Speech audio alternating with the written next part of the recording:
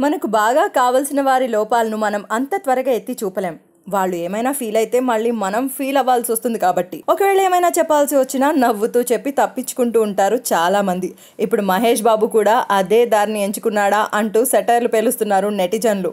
మంజుల తీసిన మనసుకు నచ్చింది ప్రమోషన్లో అక్కకు సాయం చేస్తున్నాడు సూపర్ స్టార్. ఆల్రెడీ సినిమా స్టార్టింగ్లో వచ్చే వాయిస్ ఓవర్ మహేష్ దే ఇక లేటెస్ట్గా మీడియాకు ఇచ్చిన ఇంటర్వ్యూలో అక్క అంటే తనకు ఎంత ఇష్టమో అక్క టేస్ట్ అక్క లైఫ్ స్టైల్ ఇలా ఒక్కటేంటి? ఎంత కుదిరితే అంతలా మంజులను మోసేశాడు మహేష్. సరిగ్గా ఇలాంటి టైంలోనే అక్కకి షాక్ ఇచ్చాడు ప్రిన్స్. మంజుల ఆంటీతో సినిమా చేయవా అని ఒకసారి గౌతమ్ నన్ను అడిగాడని దానికి మీ ఆంటీతో సినిమా చేస్తే అదే నా చివరి సినిమా అవుతుందని అన్నానని చెప్పాడు మహేష్. అంటే ఇక్కడ మీనింగ్ ఏంటి అన్నది ప్రత్యేకంగా చెప్పక్కర్లేదు. అక్క టేకింగ్ తెలిసే ప్రిన్స్ ఇలా అన్నాడని సోషల్ మీడియాలో ప్రేక్షకులు కౌంటర్లు వేస్తున్నారు. ఇక మంజుల దర్శకత్వం వహించిన మనసుకు నచ్చింది మూవీకి మార్నింగ్ షో నుంచే డివైడ్ టాక్ వచ్చింది. తెలియని విషయాల్లో వేలు పెడితే ఆ విషయము పాడవుతుంది. వ్యవహారం రసాభాస అవుతుంది. నీకు నేచర్ అంటే ఇష్టమైతే ఫోటోలు తీసుకో.